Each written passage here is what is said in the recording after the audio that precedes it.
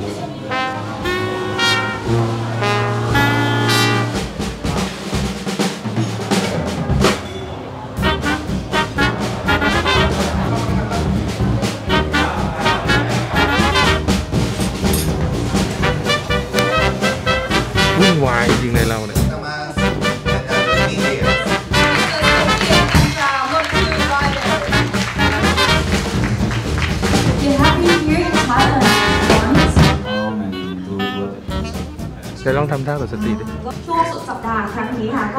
ก็ยังไงเอ้ยกล้องต้องต่ำกว่านั้นกล้องต้องต่ำกว่านั้น Your performance has been really impressive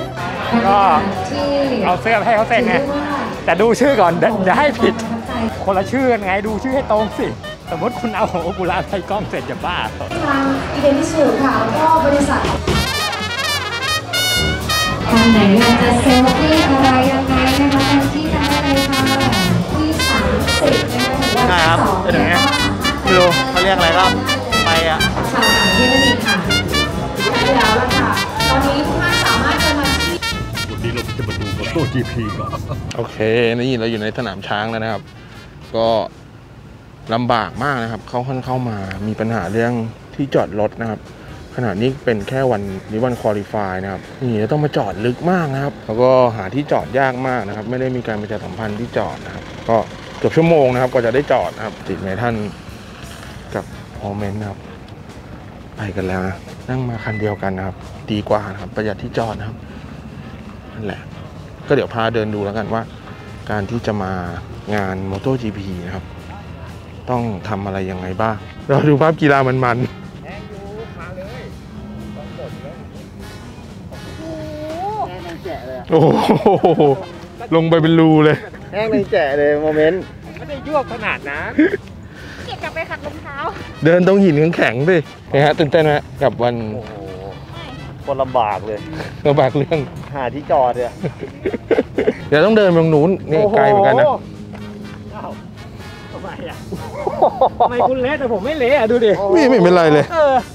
ทำไมคุณเละอะโอ้ซูเปอร์สตาร์บ่นแล้วรองเท้าเลอะแล้วดูด้วยทางนั้นอย่างแห้ง โอ้โหนิดหน่อยฝนตกอะแน่นอนครับสำหรับการเดินทางนะครับ มอเตอร์ไซค์นะครับ น่าจะเป็นการเดินทางที่เหมาะนะครับ เพราะว่าเป็นงาน MotoGP ด้วยก็จะเห็นกลุ่ม big bike นะครับ หรือเป็นรถแบบไซส์เล็ก ๆ นะครับ ตลอดทางนะมาเป็นคาราวานนะครับ ส่วนรถที่จะไปจอดข้างในสนามได้เนี่ย ก็ต้องเป็นรถที่มีใบมีบัตรจอดรถนะครับ มีอนุญาตนะครับ ส่วนคนที่ไม่มีบัตรเนี่ย อันนี้เนี่ยเราใช้วิธีการ เดินก็เดี๋ยวไปขึ้นรถอีแตนกันนะครับ ตรงนู้นนะครับจุดประชาสัมพันธ์นะครับเดี๋ยวผมพาเดินไปดูนะครับว่าราคาบัตรค่าเข้าเนี่ยแต่ละแพ็กเกจเนี่ยเป็นแบบไหนนะครับ ตรงนี้ก็จะมีคนคอยตรวจบัตรอันนี้นี่บัตรผมนะนี่มีสติ๊กเกอร์นะครับว่าใครผ่านได้ผ่านไม่ได้นะครับ หน้าตาของสติ๊กเกอร์เป็นแบบไหนนะครับเนี่ยเขาถึงจะให้ผ่านนะครับเดี๋ยวเราเดินเข้าเราต้องเดินเข้าฝั่งนู้นนะครับ เขาจะตรวจบัตรเข้านะครับ อันนี้ก็นี่บัตรผมนะครับ เป็นบัตร grandstand นะครับ ราคา 4,000 บาทนะครับ ก็ขอบคุณทาง Idemitsu นะที่ชวนเรามาโอเควันนี้เป็นวันซ้อมนะนนี้เราเข้ามาช้าแล้วด้วยนะนิดนึงออกมาเร็วนะครับ อันนี้คือน่าจะเป็นบัตรที่ถูกที่สุดครับในการเข้าไปชมในสนามนะครับ แต่ว่ามีบัตรอีกราคาหนึ่งนะที่สามารถร่วมร่วมกิจกรรมได้อย่างเดียวนะครับส่วนประชาสัมพันธ์นี่ครับมี จุดของฝากนะครับ เดี๋ยวต้องนั่งชัตเติลแตนนะครับ เข้าไปนะครับ อันนี้บริการฟรีนะครับ จะยืนจะนั่งก็ได้เลยนะครับ โอเค เดี๋ยวพานี่มาบูธแรกเราเห็นของที่ระลึกก่อนเลยนะ เดี๋ยวเราเข้าไปดูหน่อยแล้วกันมีอะไรบ้างนะครับเสื้อยืดนะครับ สวยนะ590 หมวก m o t o GP นี่เป็นไง ไทย GP มีถุงอะสวยดิ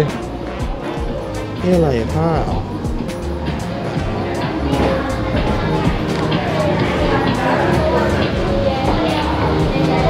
รอนี่กระบอกน้ำสวยนะสติกเกอร์รีดเสื้อพวงกุญแจนะครับพวงกุญแจ190นะก็สวยนะมีเสื้อเชิ้ตนะครับออฟฟิเชียลเลยนะ ผมไม่ได้ถ้าเป็นสีดำนี่สวยนะ ใส่เสื้อสีขาวไม่ได้เลยดูดิมันเป็นแบบ มีลิขสิทธิ์แท้นะครับถุงนี้น่าสนใจนะ แบบไทยสไตล์นะครับสสื้อยืดเหรอ ไม่ค่อยโดนเท่าไหร่อะหมวกไม่ชอบนะ แต่ผมเป็นคนไม่ค่อยใส่หมวกแล้วนะ แก้วน้ำก็สวยนะครับหนังมานนะครับไทยสไตล์ประมาณนี้ก่อนนะนี่เพื่อนรออยู่นะ นี่ตรงนี้มี Official Merchandise นะครับ ของแบรนด์ของแต่ละคนนะครับ เดี๋ยวตอนกลับเดี๋ยวค่อยแวะมาดูนะครับตอนนี้เราเริ่มเราเราเริ่มช้าแล้วแหละ ตรงนี้เป็นโซนรับส่งนะครับ มอเตอร์ไซค์ EV นะของ Honda นะครับนี่คิวเข้าออกน่าจะแน่นนะครับวันนี้รถไม่มีนะครับ เมื่อวานยังพอมีคนแบบไปส่งบ้างนะครับแยกออกแป๊บเดียวออกแป๊บเดียวออกนะครับก็พาส่งเข้าไปในยันซึ่งเป็นรถไฟฟ้าเอ่อจุดกิจกรรมนะฮะซึ่งมีความพร้อมสำหรับการรับส่งนักท่องเที่ยวไม่ว่าจะเป็นชาวไทยและชาวต่างชาติอะยืนเกาะกันไปอย่างนี้เลยนะอะตอนนี้ มาผมเจอหลายคนนะครับ ขึ้นรถคันนี้นะครับไม่ว่าจะเป็นจอห์นนี่อันวานะครับดูก็ต้องขึ้นคันนี้นะครับ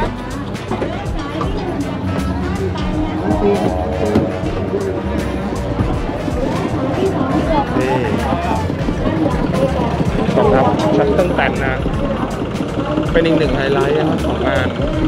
นะครับการนั่งรถ shuttle แตนคุณรู้สึกไงบ้างตื่นเต้นไหมรถ shuttle แตนก็รถบ้านๆเลยนะพวงมาลัยอันหนึ่งนะฮะ แล้วก็มีเครื่องวางอยู่นะมันคือรถอีแตนนะถูกไหมก็ที่เอาไว้ขนหญ้าขนอะไรในสวนในไร่อะนะไปละออกแล้วเนี่ยแป๊บเดียวออกนะครับขายเป็นซัดเป็นไงนี่ก็จะเป็นเอ่อสแตนของแต่ละนักแข่งแต่ละคนเลยนะครับ ใครที่เชียร์ใครนะครับนี่จะแยกมาลงบริเวณนี้นะ ครับอัศจรรย์ที่เรานั่งเรือนะครับ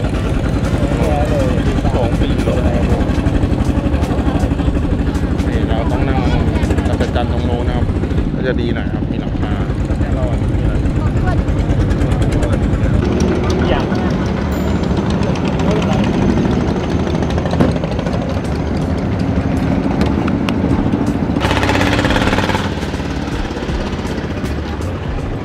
โอเคนี่ครับ หลังจากลงจาก shuttle bus เรียบร้อยนะครับ เราจะต้องผ่าน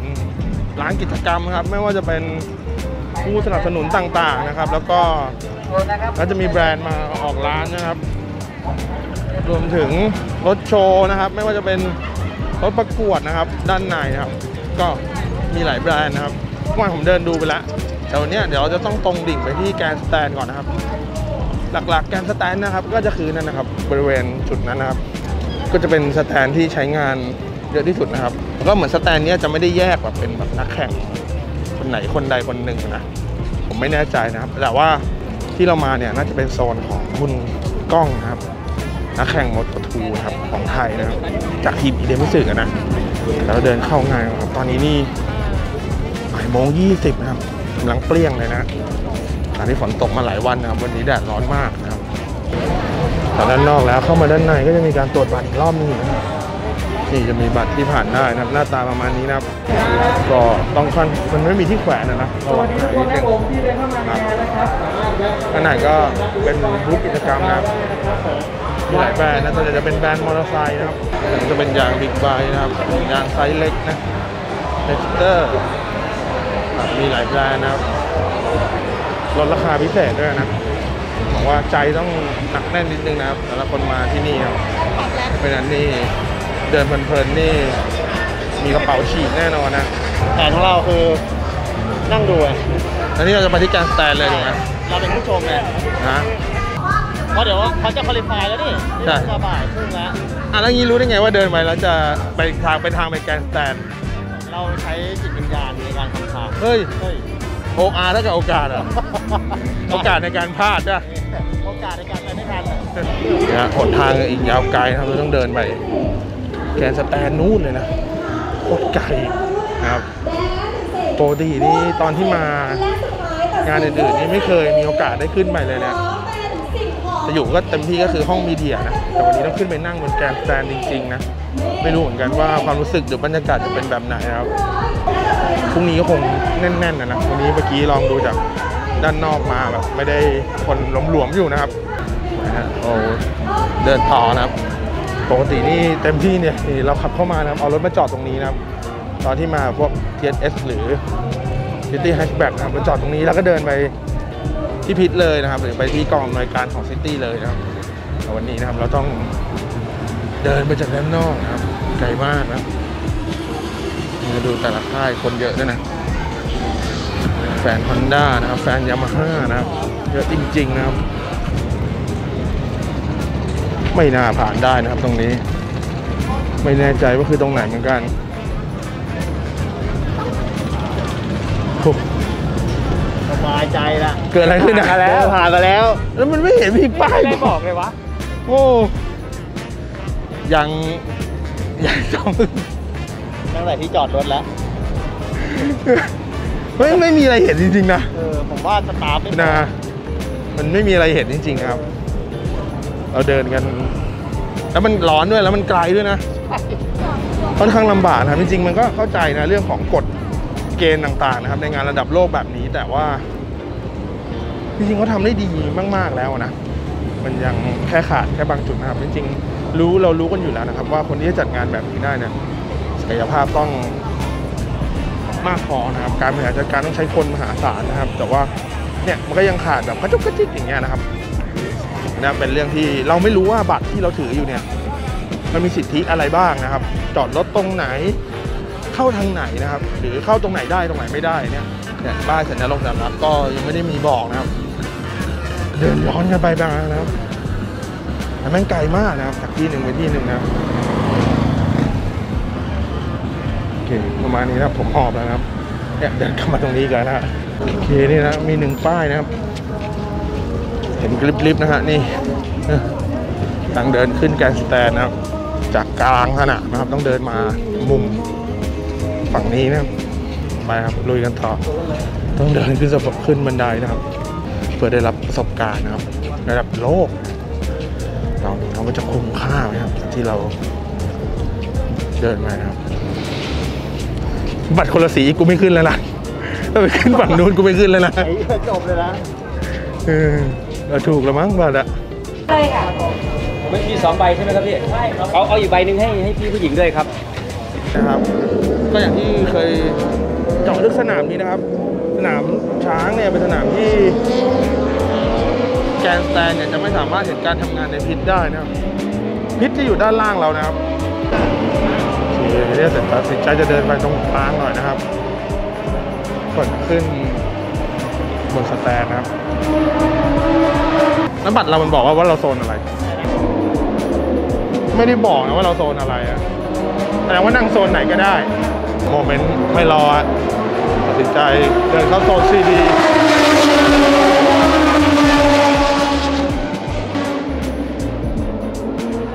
นี่เบื้องหลังการทำงานของสตรีมแมทันนะ คุยกับใครอะไปดูคุยกับใครแล้วคุยกับแฟนเขาอะไรเอ้ยดีดีเอ้ยเอ้ยแต่แต่ขนลุกจริงขนลุกจริง มันไม่ได้ง่ายๆนะเว้ยแล้วเป็นในบ้านเราด้วย ใช่ แต่ว่ามันคืออะมันอาจจะมีภาษีนิดหน่อย เขาอาจจะได้ซ้อมมาบ่อยอะไรอย่างเงี้ยเออถ้าเอาจริงๆอะแบบ perfect เลยก็คือได้ pole แล้วก็ได้แชมป์จาก homeland ไปด้วย แต่มันก็ไม่ได้ง่าย มันคิดอะง่าย แต่มันทำมันได้ง่าย ๆ เลย เออ แต่ก็ทุกคนภาวนาให้เป็นแบบนั้นหมด ให้มันแบบ perfect แล้วมันจะโอ้โหเชื่อว่าขนลุกอะนี่แค่นี่แค่ pole ที่หนึ่งยังขนลุกเลยจริงๆคือเขามีความใกล้เคียงกับ MotoGP มากที่สุดที่สุดแล้วคือตอนนี้แบบน่าจะเป็น number oneันของไทยแล้วที่แบบในระดับโลกนะไม่เสียแรงที่เราไปต่อคิวรอ ขอลายเซ็นไว้อะพี่โก้พี่โก้บอกว่าอะไรนะ เดี๋ยววันหนึ่งเขาขับมอเตอร์จีพีเมื่อไหร่เนี่ยโอ้โหราคาราคาขึ้นนะ ของพวกนี้นะฮะโมเมนตัมให้เซ็นเสื้อสิบกว่าตัวใช่ไหมใช่ก็เป็นทหารสามตัวจะกล้าสักอะไรเนี่ย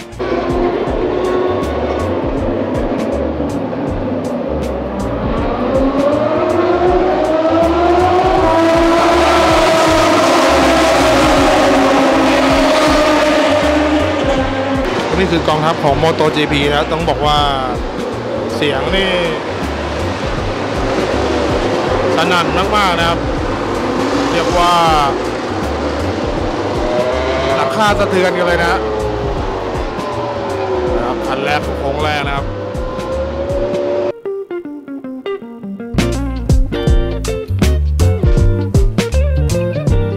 ครับวันนี้เราลงมาจาก stand แล้วนะครับ เพราะว่า MotoGP แข่งจบแล้วนะครับ แต่ว่ายังมี support race นะครับจาก Idemitsu อีกนะครับ แต่ว่านี่เราอากาศค่อนข้างร้อนนะครับอันนี้ผมแนะนำอย่างนี้แล้วกันนะครับ สิ่งที่จะต้องเตรียมตัวนะครับเมื่อคุณกำลังจะขึ้นไปบน stand นะนะคือขึ้นขึ้นแล้วเนี่ย ถ้าไม่จำเป็นก็อย่าลงดีกว่านะครับ เพราะว่ามันค่อนข้างชันนะครับมันจะเหนื่อยมากนะครับ ผมว่าสิ่งที่เตรียมขึ้นเตรียมไว้เลยนะเออหนึ่งคือพัดนะครับที่เขาแจกนะครับ อันนี้ควรจะเตรียมไปนะครับ แล้วก็หรือว่าพัดลมเล็กๆอันนี้ต้องมีแน่น้ำนะครับ ขึ้นแล้วก็ไม่อยากออกมาแล้วนะห้องนั้นก็ไม่น่ามีอะไรนะครับ พวกของดับร้อนอะอันนี้เตรียมไว้ก็ดีนะแล้วก็บริเวณนี้นะครับ เมื่อก่อนเราเคยสามารถเดินเล่นได้ตามปกตินะครับนู่นนู่นด้านนู้นก็จะเป็นห้องพักแอร์เย็นเลยนะของพวกทีมงานนะครับแต่วันนี้นะครับเราเดินเข้ามาไม่ได้ครับในโซนนี้นะครับ ก็จะสงวนสิทธิ์ไว้สำหรับพวกทีมแข่งนักแข่งเท่านั้นนะครับจะเดินเข้ามาได้นะครับนี่ดูบรรยากาศหนอยนะกันนะคนเยอะมากนะครับทยอยลงครับเสื้อผ้าแบบสบายๆนะอันนี้ผมใส่ขาสั้นได้ครับเสื้อบางๆหน่อยนะครับก็น่าจะดีโอเคนี่เราจะเอาวันนี้กลับนะครับแล้วก็เตรียมตัวสำหรับพรุ่งนี้ไหนนะต่อครับเลสบอยโอเคครับนี่เราผ่านมาที่บูธอีเดมิสึนะฮะก็จะเห็นว่าคนนะครับกล้องฟีเวอร์มากๆนะครับเนี่ยดูดินี่ เลยนะแน่นเลยนะนี่เลยแฟลับคนเข้าไปขอลายเซ็นขอถ่ายรูปกันนะครับ คือเต็มบูธอีเดมิสึเลยนะฮะนี่เด็กตัวแค่นี้ชื่นชมไม่มีที่ที่ว่างเลยนะของเราถูกต้องนะคะต้อก็งขอไปด้วยจริงๆต้องบอกว่าะปีนี้นี่ฟีเวอร์จริง ๆ นะครับ แล้วก็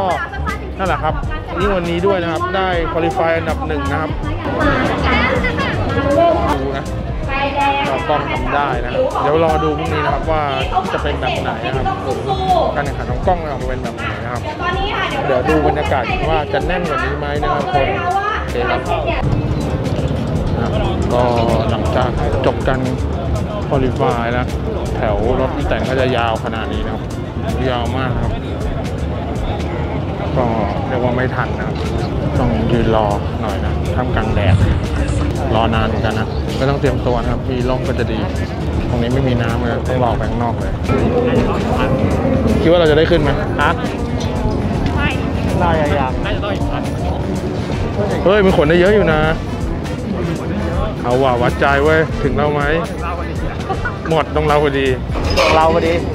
เฮ้ยเฮ้ยไปไหนเนี่ยนั่งหน้าเฉยเฮ้ยนั่งหน้าได้ นี่แถวยาวมากเลยนะ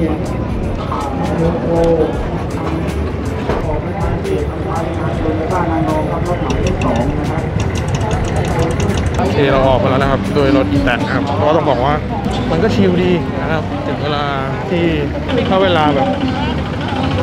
ไม่ค่อยมีคนนะมันก็ชิลนะแต่พอแบบถึงเวลาเร่งด่วนนะมันไม่ค่อยได้เท่าไหร่นะมันขับได้ช้านะ เวลาคนขึ้นเยอะๆนะ มันมีเนินมีอะไรเงี้ยมันก็จะขึ้นไม่ไหวนะครับทุลักทุเลมากนะกว่าจะออกมาจากงานได้นะครับสายวันนี้จะไปยังลานกิจกมพรุ่งนี้น่าจะหนักกว่านี้นะซึ่งนักท่องเที่ยวถ้าจะไปต่อนี่ก็ประมาณนี้แหละครับเดี๋ยวขอกลับที่พักก่อนเนี่ยถ่ายอะไรไม่ไหวแล้วโคตรเหนื่อย นี่ขนาดแค่วันคุริฟายนะ วันจริงน่าจะเดือดกว่านี้นะครับแน่ตามกันนะเจอกันขอแนะนำนะสำหรับคนที่อยากมาเขาควรเตรียมอะไรมา ในการมาดู อย่างแรกน่าจะเป็นรถโฟวินก่อนเลยร่มน้ำคิมกันแดดคิมกันแดดร่มอุปกรณ์กันร้อนทุกอย่างถูกไหมพัดลมพัดลมมือถืนี่ดูดิเราตอนนี้เรากำลังอยู่ในทุ่งนาทุ่งหญ้าสวรรค์หน้าเราแล้วเราแบบเราไม่คิดถึงพัดเลยนะจนวันที่เราขึ้นไปนั่งบนสแตนเออเราควรจะเอาพัดไปอืมจริงๆอะเขามีพัดแจกแหละแต่เราก็ไม่เอามากันเออแล้วก็เอียร์ปาร์อีกอย่างหนึ่งเออจำเป็นนะสำหรับเด็กๆอะไรอย่างเงี้ยนะ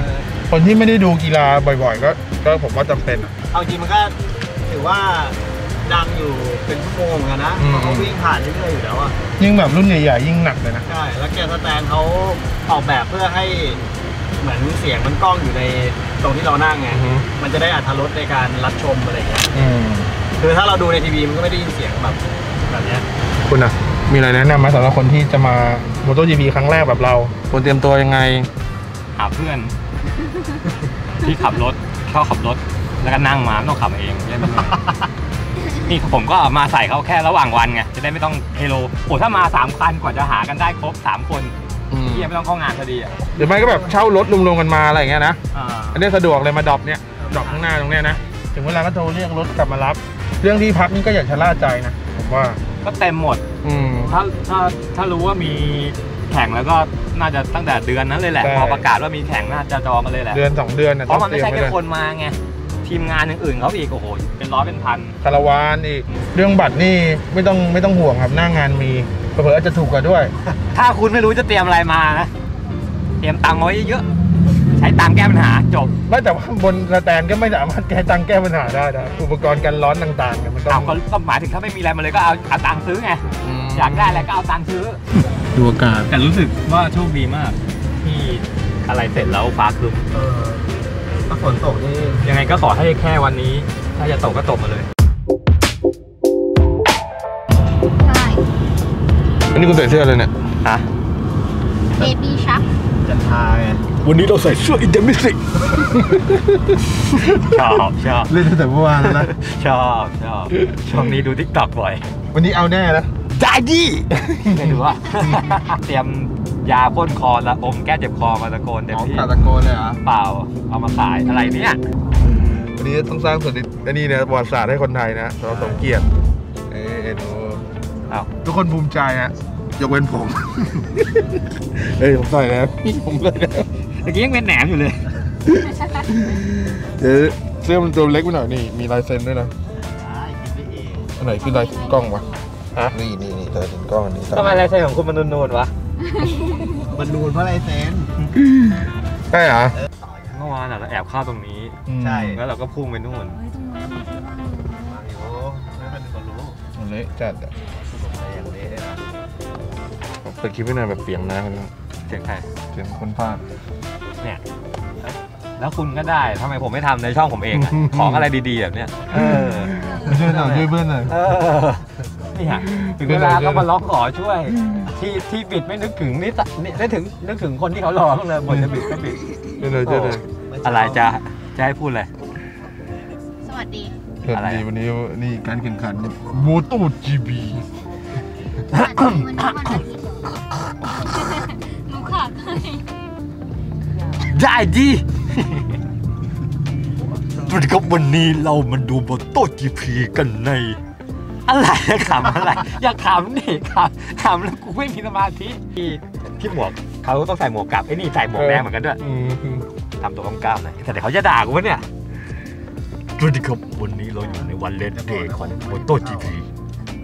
เราจะมาลุ้นสมเกียรติจันทรากัน แต่อย่างแรกเลยวันนี้เราหาที่จอดรถกันก่อนเลยลุ้นเรื่องนี้จอดก่อนก่อนลุ้นสมเกียรติ The Presented by นี่เราได้ที่จอดแล้วนะฮะวันนี้มีบทเรียนจากเมื่อวานนะฮะ แอบเห็นที่จอดลับนะนู่นป่านู่นนะนี่ก็ใส่เสื้อเต็มระบบนะเบอร์สามห้านะครับของสมเกียรตินะจันทาหรือว่าคิงของกล้องนะก็เดี๋ยวเราดูว่าวันนี้กล้องจะทำประวัติศาสตร์ ให้คนไทยได้หรือไม่ฮะเป็นโชคดีมากนะครับที่เราร่วม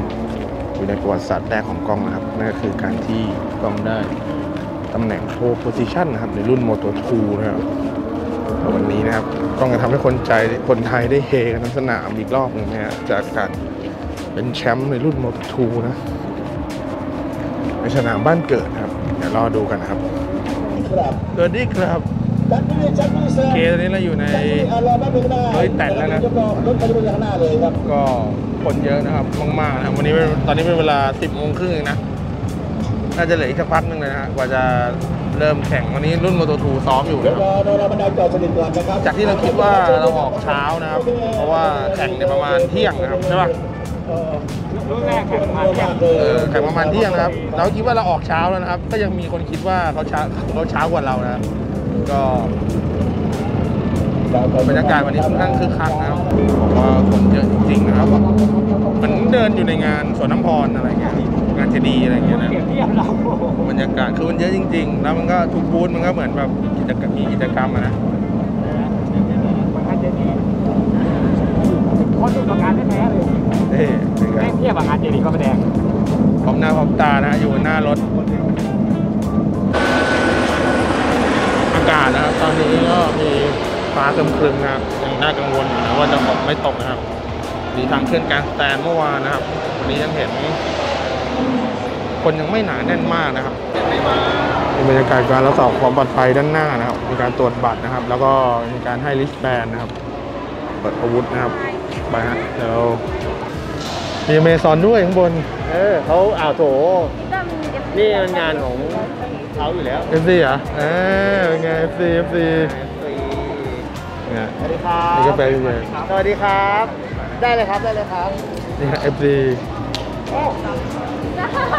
ครับผม ได้ครับกำลังเดินหาที่นั่งกันอยู่นะ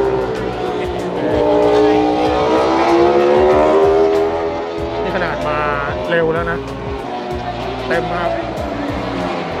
แน่นตลอดนะครับพักเธอยังสุดขอบยังไม่เจอ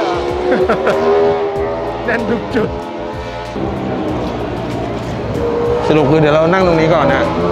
นี่ก่อนแหละใช่เพราะว่าตรงนี้มันเย็นนะ มีลมโกกนะครับข้างบนมันจะเป็นทางลมนะครับมันร้อนนะครับแล้วเผื่อเราจะลงไปถ่ายอะไรเนี่ย ตรงเนี้ยมันจะง่ายนะครับก็เดี๋ยวรอดูนะครับว่าจะนั่งได้หรือเปล่ามันเป็นแบบระหว่างทางเดินอะนะ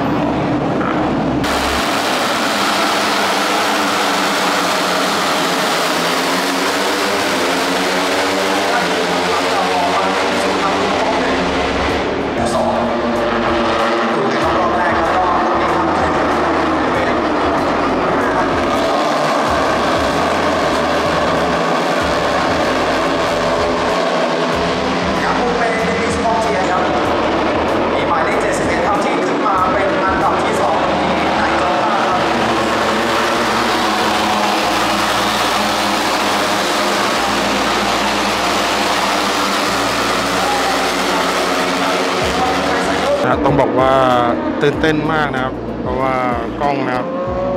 มันจะเข้ากิจสตาร์แล้วนะครับ บรรยากาศแบบนี่ดิคนไทยนี่คือเดือดจัดๆเลยนะฮะไม่เคยมีปรากฏการณ์แบบนี้มาก่อนนะครับ นานมากแล้วนะครับ หลังจากฟิล์มรัฐภาคนะครับวันนี้นี่ทั้งสนามนะครับ ในบ้านเรานะครับ แล้วก็มีนักแข่งในบ้านเราอีกนะฮะต้องบอกว่าเนี่ยดูดินั่งกันไม่ไหวแล้วนะฮะถึงก็ต้องลุกขึ้นยืนกันเลยนะฮะรวมถึงผมด้วยนะฮะ ก็เดี๋ยวรอดูกันหน่อยนะครับ ว่าบรรยากาศจะเป็นแบบไหนนะฮะเนี่ยเสียงกึกก้องนะครับทั้งสนามนะครับสุดยอดจริง ๆ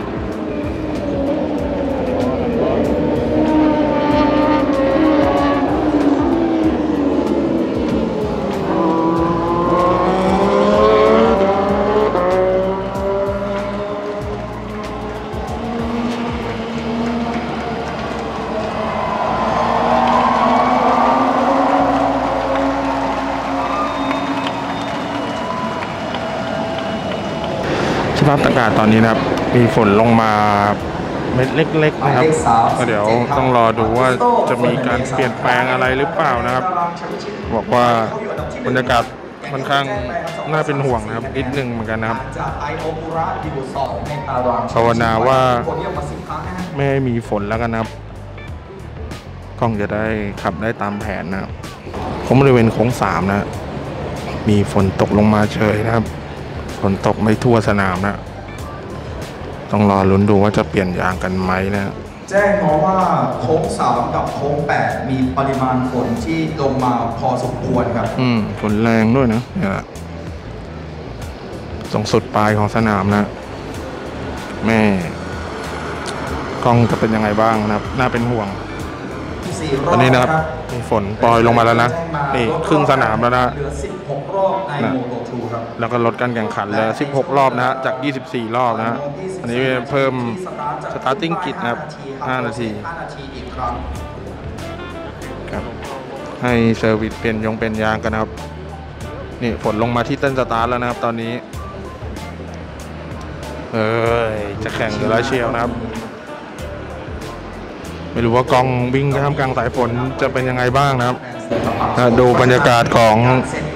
ทีมที่กำลัง service นะฮะเปลี่ยนล้อกันโคตรเร็วนะฮะสองวันที่ผ่านระหว่างทีม practice แล้วก็ในช่วงของการ qualify ครับ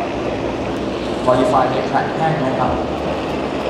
ต้องมาดูว่าใน race นี้จะเป็นอย่างไรฝนตกค่อนข้างแรงแล้วนะครับทุกทีมนะครับเปลี่ยนเป็นยางฝนนะครับโปรเซสใหม่ฮะมีกำลังการทำการ service เพิ่มนะครับ เปลี่ยนยางนะครับ เป็นยางแบบที่มีดอกนะครับขณะนี้นะฮะขึ้นไป 1 นาทีแล้วนะครับ start engine นะทีม service ออกหมดแล้วนะครับ แล้วก็ทุกทีมเปลี่ยนเป็นยางฝนหมดนะครับ ไม่มีใครใช้ยาง slick นะแต่ตอนนี้เนี่ยฝนหยุดไปแล้วนะครับ แต่ยังมีสนามแจ้งว่ายังมีบางจุดนะครับที่ฝนค่อนข้างหนักนะครับ ในโค้ง 3 แล้วโค้ง 8 นะครับ สุดปลายสนามนะครับอะเดี๋ยวลองดู warm up lap นะฮะ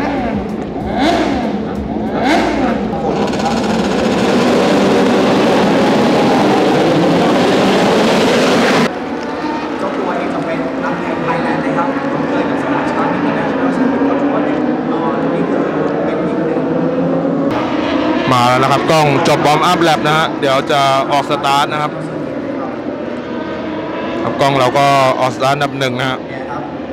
กราฟิกขึ้นมาเป็นในตาราง championship point ครับเดี๋ยวรอดูคนไทยนะครับบูโซเฟอร์นันเดสผ่านเมื่อไหร่เฮเมื่อนั้นนะครับสำหรับก้องไงเดี๋ยวตบมือสนั่นนะฮะ นะครับเดี๋ยวครับเรากำลังจะเข้าสู่ บรรยากาศการแข่งขันครับนี่คือเอาอะคนลุกว่ะดูครับไปไปไปไปครับต้องสุเกียรติจันทราโอ้มีฝนลงมาครับ เป็นไอโอคุระครับที่สามารถโอ้โหแต่สุเกียรติจันทราขึ้นมาได้คุณผู้ชมครับกล้องมาเป็นอันดับหนึ่งนะฮะมาได้ครับอ้าวมีคนล้มไปแล้วนะฮะ วันนี้ลงไปอีกครั้งครับ แล้วก็กลับมาอีกครั้ง โอ้โห ปิ้งไปไกลมากนะสำหรับคนว่าโอเคครับสุเกียรติจันทรายังคงมาดีครับต้องมาแล้ววันนี้อันดับที่สองนี่เป็นหมายเลข21ครับในจอภาพที่ตามมาและคือทางฝั่งของอาราอาลอนโซโลเปสครับสนามยังมีฝนลงมาอยู่นะ เขมินท์ คูโบะขึ้นมาถึงอันดับ 13 แล้วครับคุณผู้ชม และขึ้น มาถึงอันดับ 12 ครับเขมินท์ คูโบะสมเกียรติจันทรามาแล้วครับก้องมาแล้วฮะโอ้โหทิ้งระยะมาค่อนข้างไกลเลยนะ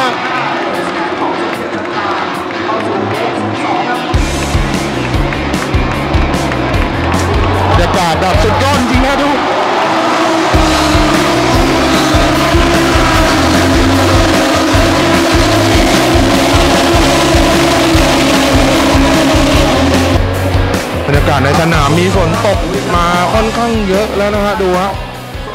เอาเดนเจครับกองมาแล้วนะครับ ทิ้งระยะมาค่อนข้างไกลเฮ้ยเฮ้ยกองมาแล้วนะครับ ทิ้งระยะมาค่อนข้างไกลเฮ้ยเฮ้ย โอ้แล้วก็สมเกียรติจันทราลงครับ โอ้โห โอ้น่าเสียดายครับโจโก้แม่มาเป็นผู้นำที่ดีครับ แล้วก็เนี่ยครับ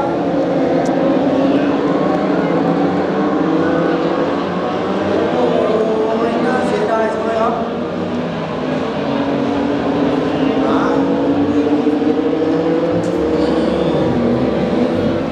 อ่าครับเดี๋ยวต้องมาลุยกันต่อแล้วครับ ก็รับกำลังใจให้น้องครับสำหรับส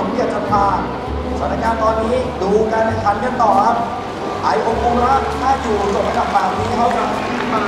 เป็นผู้นำในตำแหน่ง championship point ครับไม่แน่ใจว่าก้องจะกลับไปแข่งได้ไหมนะฮะครับที่ตกลงมาอย่างที่ผมได้แจ้งคุณผู้ชมไปนะครับว่านักแข่งไม่ได้เจอสถานการณ์ฝนเลยครับไม่ได้ใช้ยางฝนเรียบร้อยครับก้องใครที่มาดูเนี่ยมาสุจะเห็นว่าเขาคงเข้าไปต่อไม่ได้นะครับ ฝนตกก็แรงนะครับในสนามจากการออกสตาร์ทครับอันดับที่สี่เป็นนักแข่งหมายเลขสิบสองสามไอโอคุระมาอยู่อันดับห้าครับบอกว่าถ้าแอรอน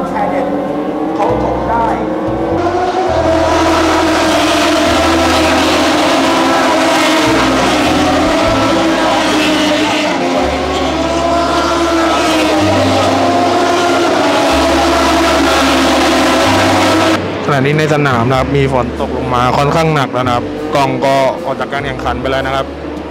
แต่ว่าการแข่งขันยังดำเนินอยู่นะฮะยังเหลืออีกสิบรอบนะดูจากพื้นแท็กได้นะครับว่าขับกันเร็วยังขับกันเร็วมากนะครับ แล้วก็แต่ฝนตกหนักขึ้นเรื่อยๆนะครับค่อนข้างอันตรายมากนะครับทุกคันยังใช้ความเร็วอยู่เลยนะ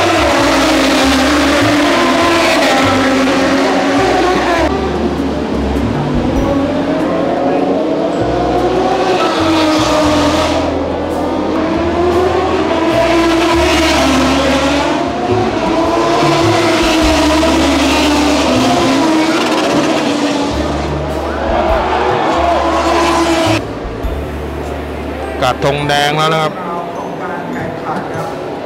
เดี๋ยวเราจะได้เห็นนะครับการขี่ฝนแบบเป็นไรรูปแบบนะฮะวันนี้แจ้งเป็นข้อมูลนะครับ เป็นไร เซ็ง นี่ครับ เราจะเห็นครับมีการเซตติ้งใหม่ครับถอดไม่มีอะไรจะพูดเลยทำความสะอาครับแล้วก็เสียใจนะเซตโชคจริงๆอัพใหม่จริงๆ สปริงใหม่ครับเข้าใจ ให้เหมาะกับการแข่งสนามฝนครับเข้าใจได้คือนั่นแหละมันเป็นสิ่งที่ไม่อยากให้มีให้ไม่มีใครอยากให้เกิดที่สุด แล้วแม่งก็เกิด จริงส ภาพอากาศนี่แหละสภาพอากาศที่มันแบบเป็นแบบเนี้ยนะๆเพราะก่อนหน้านี้เราก็พูดกันอยู่ตลอดว่าเออลุ้นลุ้นโอ้โหตอนนี้ลุ้นว่าให้น่าสนใจสถานการณ์แม่งไม่เกิดอะไรเงี้ยสำหรับนักแข่งแล้วเหมือนมีคนปล่อยคิวอะแม่งเฮี้ยตรงเนี้ยก่อนหน้านี้ดูดิแดดเปรี้ยงนั่งหลบแดดอยู่เลย จะสตาร์ทอยู่แล้วนะฝนลงตามสเต็ปฝนลงต้องล้มโอ้โหโบบาจัดแต่แต่ผมว่าเขากดดันด้วย คือแบบ ถ้าเป็นเลสแบบเมื่อวานนะโหมาเหอะกูว่าสบายอะเออมีลุ้นอะตอนมันล้มนำอยู่แล้วฝนตกอะมันก็กดดันว่ากูจะต้องโดนคือเขาก็อ่าสำหรับนักแข่งคืออาจจะไม่เอาอันดับอื่นอะต่อต่อให้ฝนอะคูคือกูนะรับคือกูอยู่หัวแล้วก็อาจจะอยากให้ไปต่อเรื่องอาจจะแบบตอนนี้อันดับอยู่นั่นแหละที่อันดับที่เก้าเลยครับเอออาจจะทำให้มันดีที่สุดอะมีสามคันพูดอะไรไม่ออกจริงๆตอนล้มแบบ ใช่ใช่ใช่เหมือนผมแค่แบบสตาร์ทที่เก้าครับเชี่ยแบบแต่น้ำตาคอเลยช็อกแบบ ก่อนหน้านี้เขาออกสตาร์ทในไม่รู้จะพูดอะไรจริงๆอะพูดไม่ออกเพราะฉะนั้น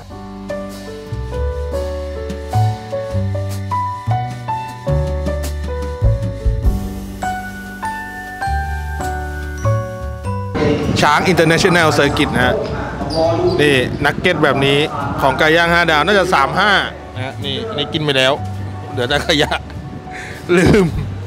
เป๊ปซี่เท่าไหร่วะ 15 20วันนั้นน้ำเปล่ามันจะ 10 บาทด้วยนะ ซื้อข้างบนอะ 10ไม่เหรอซื้อข้างบนอะ10ข้างล่างอะ15อืมไม่ได้แพงนะ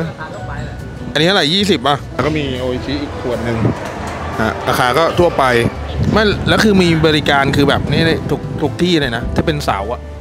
มีทั้งตู้กดเงินมี ATM ห้องน้ำอะไรเงี้ยมีอเมซอนด้วยค่อนข้างสบายเหมือนกันนะ เป็นอเมซอนแบบที่ทำสำเร็จมาแล้วอะนะถือว่าดีแต่ราคาแอบแพงไปนิด70 คือพอมันไม่เห็นกระบวนการทำแล้วมันก็รู้สึกว่าเออมันไม่ควรจะแพงขนาดนี้กดกดเอาอะไรเงี้ยมันมีเลือกไม่ได้เลยนะ มีแค่อเมซอนมีชาเขียวป่ะลิ้นจี่เออช็อกโกแลตนี่แค่นี้ แต่พูดแล้วอยากกินช็อกโกแลตเลยว่ะนี่คือสถานการณ์นะครับ นั่งอยู่ข้างห้องน้ำนะรอดูว่า Moto GP จะได้ขับหรือเปล่าจะได้แข่งหรือเปล่านะเราแอบอยู่ใต้อัฒจันทร์นะฝนสาดนะ เบอร์ใหญ่สตรีมไมท่านนะ ต้องมานั่งข้างห้องน้ำอะ น่าสงสารสปอนเซอร์นะที่ดูอยู่นะใครใครสปอนเซอร์ปีหน้านะจัดห้อง VIP ให้ทั้งห้องนะเดี๋ยวเดี๋ยวจะกราบเช้ากราบเย็น 3 วันเลย ขอรถตู้ด้วยไม่น่าจะใช้เสียงพอนะแบบนี้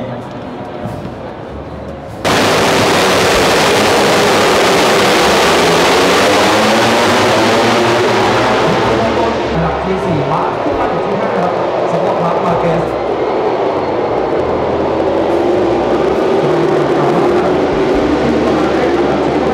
มาร์คมาร์เกสของซาร์ติสตาร์ที่แปดแ